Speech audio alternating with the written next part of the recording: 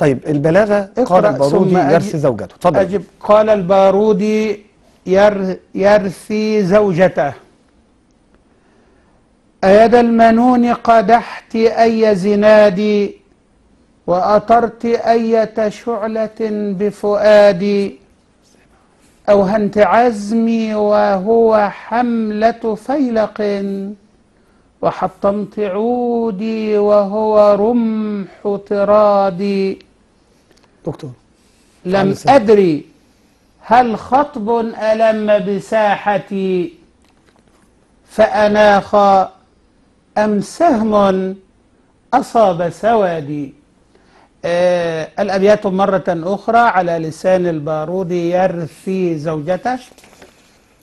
أيد المنون قدحت أي زنادي وأطرت أية شعلة بفؤادي.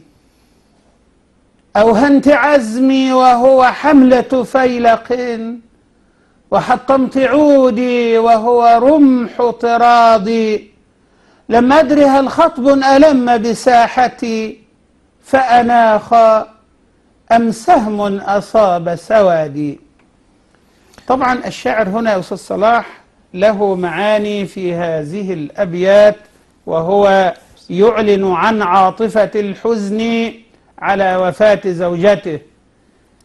ينادي على يد الموت ويقول لها أي زناد قد أشعلت؟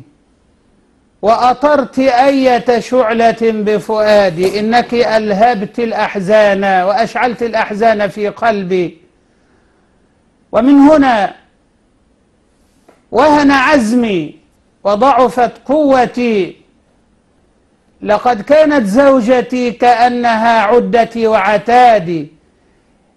إنك يا يد المنون حطمت جسدي وهو الرمح الذي أعتمد عليه وكأنني في ساحة صيد. لم أعرف هل أمر عظيم ألم بساحتي ونزل بها أم أن هناك سهم أصاب قلبي وقلب زورق حياتي؟ طبعاً هذه هي- المعاني الجزئية لهذه بس هي. معاني يعني بصراحة بتفصيل. حضرتك أنت كأستاذ شرحتها بالتفصيل. أنا كطالب أنا يعني لو ما عرفتش أوصف يعني أشرح بمثل هذا الشرح الدقيق يا أستاذ. والله هاخد بنقول يا صلاح شرح مبسط. قريب من المعنى قريب مبسط. اللي أنا فهمته. آه اللي أنا فهمته. بقدر الإمكان يعني. طيب. يعني أنا هقول هو بيقول لي إيه الصدق الشعوري هو بيقول أساس هو بص يا أستاذ محسن أنا هاخد من من العنوان يرثي زوجته اذا هو العاطفة المسيطرة الحزن. عليها الحزن الحزن. فهقول لقد سيطرت على الشعر عاطفة الحزن أنا كده خدت جزء وقد جاءت الأفكار ملائمة لها حيث قال وابتدي أشرح اللي أنا فاهمه تمام. شرح مبسط للأبيات بس مش عايز طالب يكتب لي شرح مبسط للأبيات يا دكتور ما بين يعني. آه، يعني. يجيب الأبيات ويشرح. كلها يشرح. في جملة واحدة؟ لا لا لا طبعا. أو. أو أو يقول لي يا دكتور شرح مبسط للابيات ما بين قوسين كده. لا مش طبعا. معقولة يعني. لا كده عشان كده بقول بعض الطلاب. نعم. طيب يبقى شرح مبسط تكون فاهم مثلا كل بيت تعطي عليه فكرة. وبذلك يكون الشاعر قد مزج بين العاطفة والأفكار لأن الشاعر الجيد هو من يفكر بقلبه ويشعر بعقله. وبذلك أجبنا على السؤال عن السؤال الصدق الشعوري أساس التجربه اللي بيجي كتير جدا يا دكتور فهمي. وامتزاجه بالفكر دليل على صدق التجربة. يوضح ذلك. زي ما الأستاذ صلاح قال أنا اكتشفت العاطفة من خلال العنوان. يعني آه، آه، الدخول قبل الدخول إلى الأبيات. يرثي زوجته. إنه يعلن عن عاطفة الحزن. وهذه العاطفة قد أثرت في افكار في أفكاره.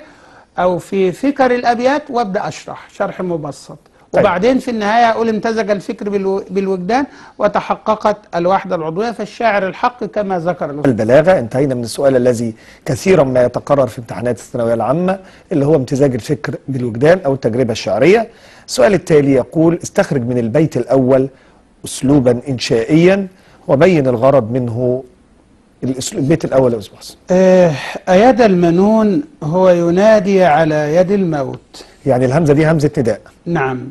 نعم. عندما ينادي على الموت فالغرض البلاغي إعلان الحسرة والحزن يعني. والألم. طيب. نعم. وضح الصورة في قوله وهو رمح مبينا سر جمالها. طبعا هو رمح هو دي تعود على على الجسد. على الجسد رمح اذا الاثنين موجودين. يبقى ده تشبيه بليغ يا أستاذ صلاح. نعم. سر جماله أنا لو قلت التشبيه طيب بس يا المعنى. دكتور. نعم. والله أنا ادي لك الدرجة تمام. لأن أنا بتعامل مع طالب إيه إن هو فاهم يعني إن في تشبيه هنا ماليش استعارة والمجاز مرسل. طب وهي سر جمالها التوضيح طبعا لأن الاثنين مادي. مادي.